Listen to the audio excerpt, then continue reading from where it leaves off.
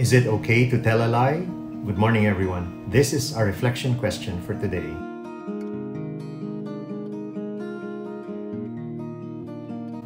Duksu was found by North Korean soldiers in the family cellar on November 20, 1950. He and his father, a Presbyterian pastor for 42 years, were taken to prison and told they would be executed in the morning. His father told him they could not tell a lie to save their lives. That evening, a captain approached Kim. Are you a Christian?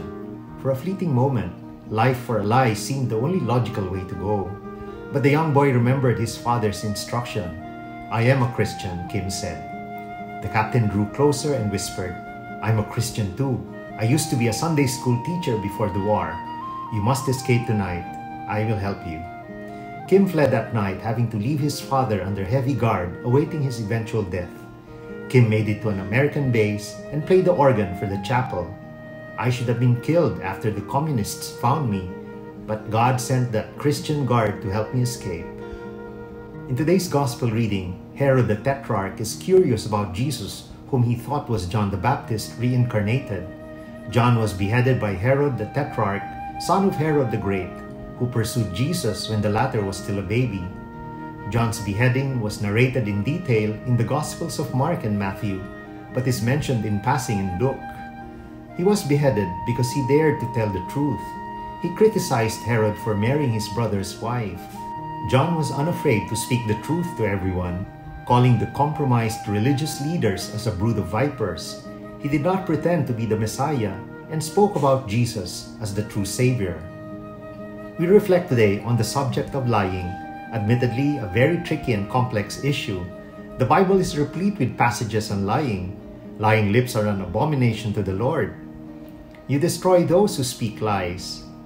Do not lie to one another, seeing that you have stripped off the old self with its practices. But there are also a number of biblical stories about personages who tell lies for a good purpose. In Exodus, to save the newborn male babies from the king's command to kill all, the Hebrew midwives lied to the Pharaoh. In Joshua, Rahab the prostitute lied to the king of Jericho about the two spies Joshua sent to the first city of Canaan, the promised land. So is it all right to lie? St. Augustine said, A person lies who has one thing in mind yet expresses something else with words. He says that every lie is a sin, some worse than others, even if told for a good purpose. The eighth commandment is our clear guide about lying. You shall not bear false witness against your neighbor.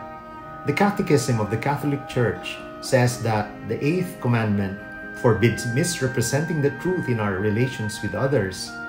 In here, we see the word relations. Does telling a lie enhance or destroy relationships? On the other hand, does it prop up one at the expense of another?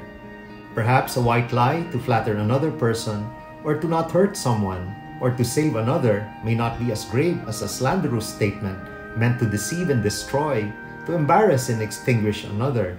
But it is still a sin, a venial sin that requires sincere repentance on our part. St. Paul reminds us not to do evil that good may come. Although St. Thomas Aquinas, following St. Augustine's lead, held that all lying is bad, what he called a sin, peccatum, he nevertheless believed that a harmless lie to save a life is only a venial sin, not a mortal sin.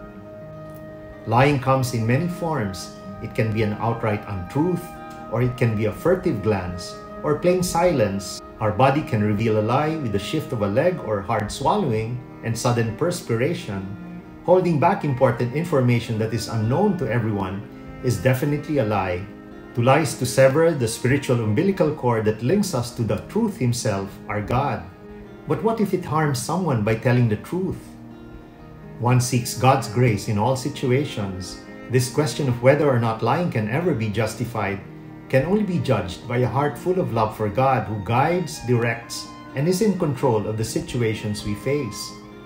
The complexity of this issue is managed by our Catechism of the Catholic Church which says that the right to the communication of the truth is not unconditional.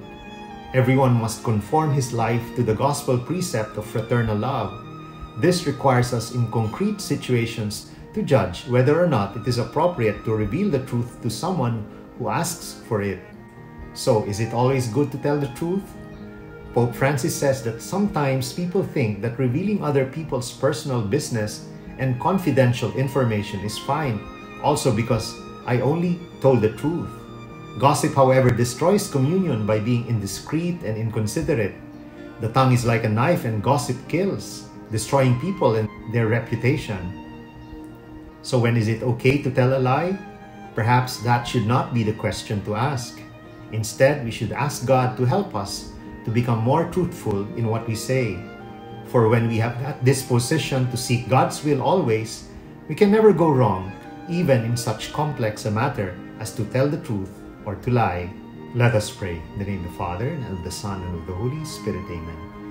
Heavenly Father, guide me in my words, reveal your will in my heart, and increase my desire to love those around me even more. This I pray in Jesus' holy and mighty name. Amen. In the name of the Father, and of the Son, and of the Holy Spirit. Amen. God bless your families, brothers and sisters.